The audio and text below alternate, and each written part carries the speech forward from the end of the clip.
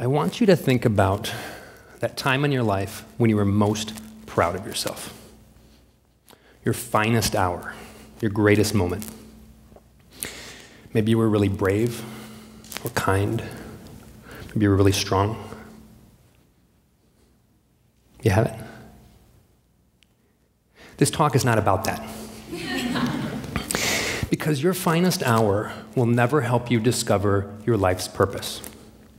It might show you what you're good at, it might show you what you like, but it will help, never help you discover your mission, your calling, your why. And the world desperately needs you to discover your purpose. And I want to help you. First, I need to tell you a story, though. I want you to picture this, but at age 16.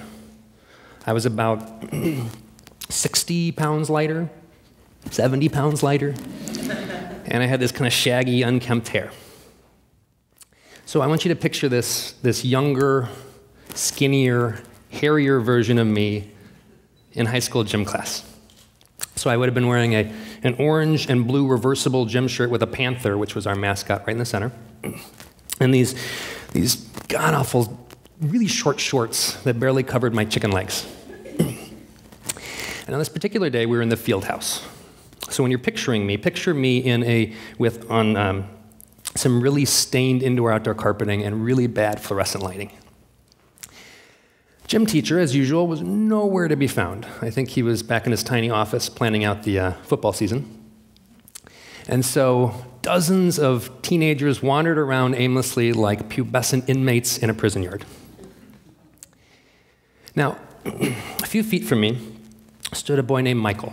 Now, I didn't know Michael very well. Michael spent his entire life trying to be invisible. But Michael's feminine gestures and feminine features outed him. Now, Michael was, is, probably gay. But in high school gym class, being gay is not a sexual orientation. It's a, it's a scarlet letter. It's an abomination. It's a, it's a four letter word.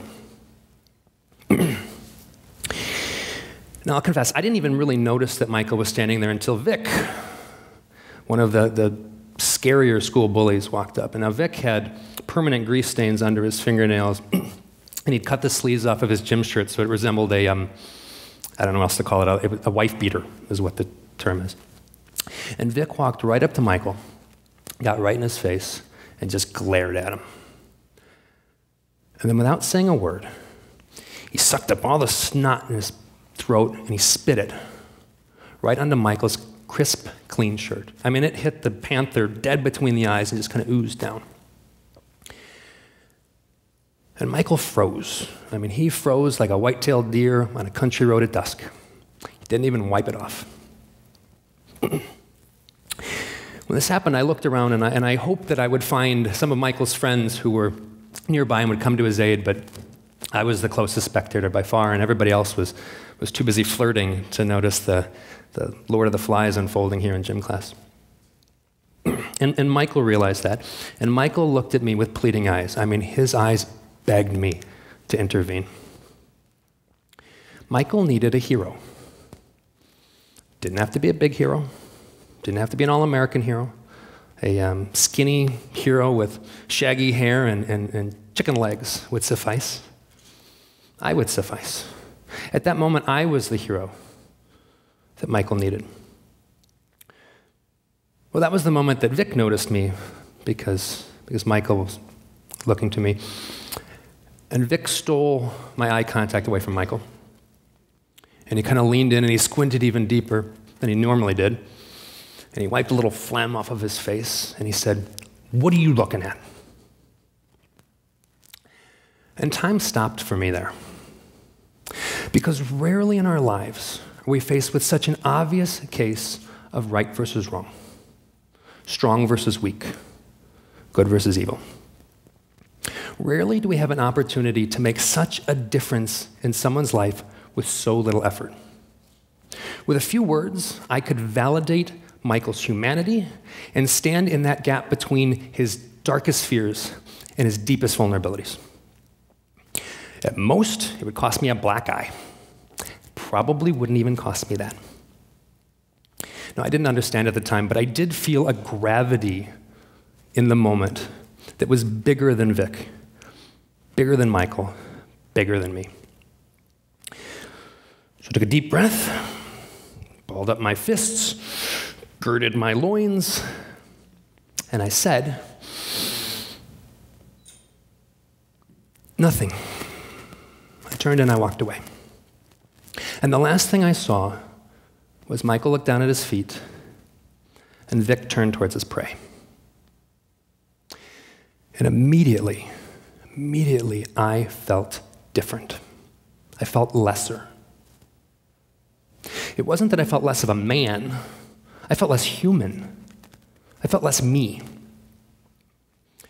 And that moment haunted me. I did my best to forget it for years. And I, and I made excuses. I told myself, Michael wasn't really my responsibility. I told myself there really was nothing I could do, anyways. But each time I made an excuse, I felt a little bit less like me. Then one day, in college actually, a dear friend helped me to face the fact that I had simply failed. I'd let Michael down, I'd let myself down. Someone had needed me in a dark hour, and I had done nothing.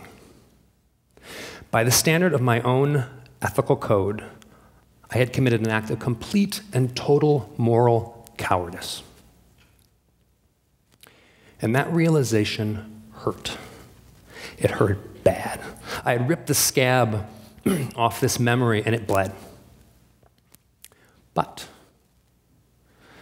but, it showed me who I am by showing me who I never want to be again.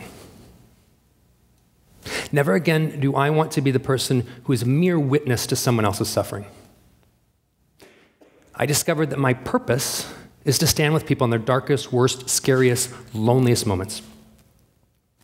I discovered my purpose in the moment I failed it. And I've tried to remember that ever since. And that realization has brought me to some amazing places, some holy places, places where I could be with a person in the single worst hour of their life. Like calming a woman who had been raped 45 minutes earlier in an icy sewer drain. Showing a grieving mother where her son's frozen body had been discovered only a week earlier. Helping to hide three men who were in imminent danger of being arrested and tortured. Now, I'm not going to kid you, it's also taken me to some pretty awkward places. I had a knife pulled on me. I uh, was threatened by a street gang. I, uh, true story, accidentally got arrested in an African dictatorship. But it's all been worth it. I discovered my purpose in the moment I failed it, and it has made all the difference. But enough about me. I want you to discover your purpose. You ready? I want you to think about that time in your life when you most deeply disappointed yourself. Not because you failed to achieve some goal, but because you failed your moral compass. Maybe you, um, maybe you, like me, let somebody down. Maybe you were disloyal to a friend. Maybe you lied to somebody who trusted you. Push past the minor disappointments. I want you to get to that moment, the story you never tell anyone, the memory you try to forget. When you wake up in the middle of the night, what haunts you? You have it? You discover who you are. You discover your purpose in the moment you fail it. Now, that memory you have, your worst moment, there's only two things you can do with it. Only two things you can do with it. One, you can bury it, and with it, bury a piece of yourself.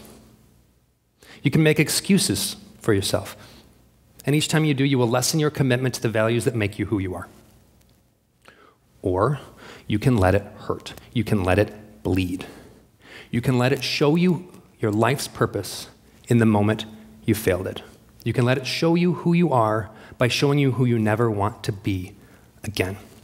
You discover your purpose in the moment you fail it. Now, I told you at the beginning to forget your finest hour, and here's why. You cannot hear your inner voice over the public applause. In those moments, if you try to define yourself around those moments, when you got trophies and awards and adulation, you will mold yourself in the image of what the world wants you to be. But that dark spot, that story you don't tell anybody else, that moment you wish had never happened, that is truly yours and only yours. You discover your purpose in the moment you fail it. And the world desperately needs you to discover your purpose.